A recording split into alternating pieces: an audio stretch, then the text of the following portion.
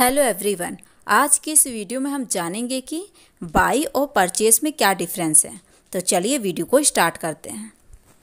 By और purchase जब हम कोई भी चीज़ खरीदते हैं, चाहे वो ऑनलाइन हो या ऑफलाइन हो, कोई छोटी चीज़ खरीदें या कोई बड़ी चीज़ खरीदें तो हम इंग्लिश में दो वर्ड का यूज़ करते हैं। तो पहला है हमारा बाई और दूसरा है हमारा परचेस अब चलिए इन दोनों में डिफरेंस जानते हैं।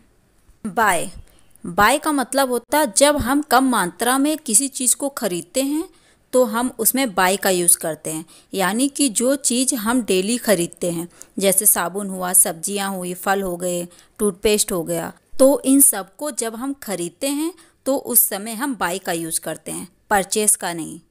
और अगला है हमारा परचेस। जब हम कोई चीज़ को बड़ी मात्रा में खरीदते हैं पर उसे हम डेली नहीं खरीदते हैं या साल में एक बार खरीदते हैं। जब वो खासकर महँगी हो या कॉस्टली हो तो उस चीज़ को खरीदने के लिए हम परचेस का यूज़ करेंगे।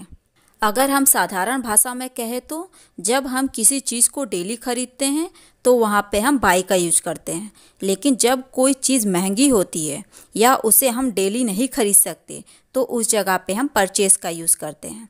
ये डिफरेंस होता है बाई और परचेस में। आई होप आपको वीडियो पसंद आई होगी। ऐसे ही और इन्फॉर्मेटिव वीडियो को जानने के लिए चैनल को सब्सक्राइब करें और बेल आइकन को प्रेस करें।